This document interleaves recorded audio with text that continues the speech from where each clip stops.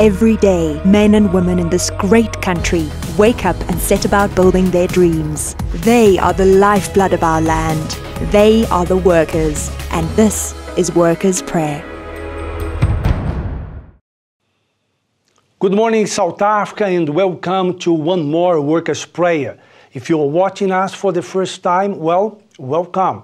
And join us every week, Monday to Friday, 5 to 6 in the morning. And make sure you have your glass of water ready because after the testimony, the real life testimony, we have the moment of prayer to bless the glass of water and also to bless your life.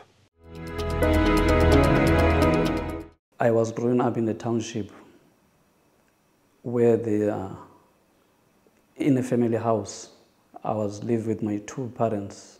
Through an early stage, run up of 16 years, I found myself going up with bad, bad friends, starting to drinking, smoking, sleeping around, going to parties. So I end up being an addicted to all those things, drinking and smoking, not seeing every way out in my life. I could not support myself, I could not support my kid. This led for me to be rejected by my own family. That was one of the, of, of the moment that I say, for me it was painful to see myself not, not be able to provide, do the things that I was supposed to do for my family as a man.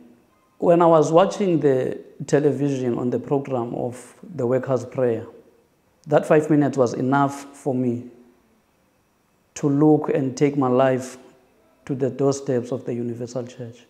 My first day at church, I remember like it's, it's, it's yesterday because when I arrived in the church, I knew that the only person that I want to find here is God. And if I don't find God, sooner or later I'm going to die.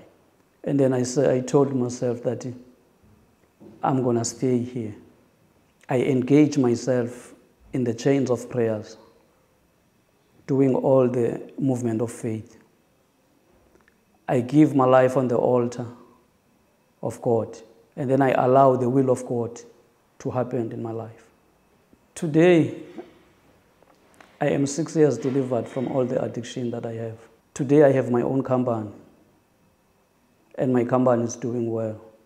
But the greatest blessing of all in my life, I'm baptized with the Holy Spirit.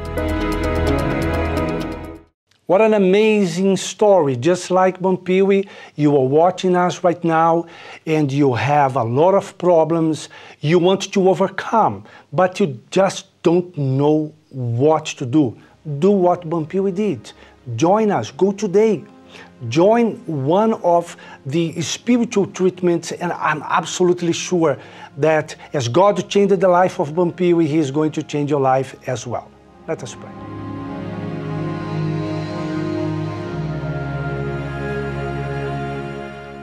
Father, in the name of your Son Jesus, we enter your presence, we consecrate this glass of water. We ask you, Father, to bless the life of people like Bompiwi living suffering, distress, people who faced rejection and got accepted by a group of so-called friends, misleading them and giving them bad advices.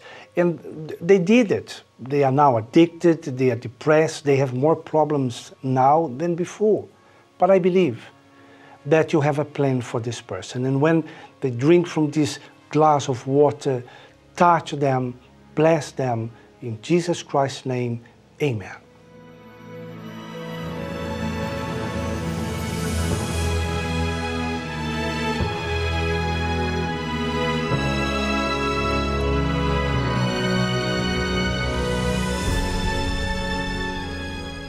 Your life can change as well. Don't despair, don't lose hope, because the doors of the Universal Church are opened every day to bless your life.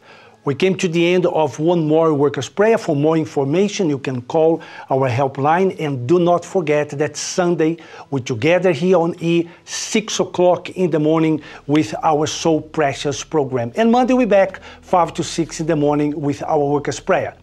Bye bye. This is Workers' Prayer.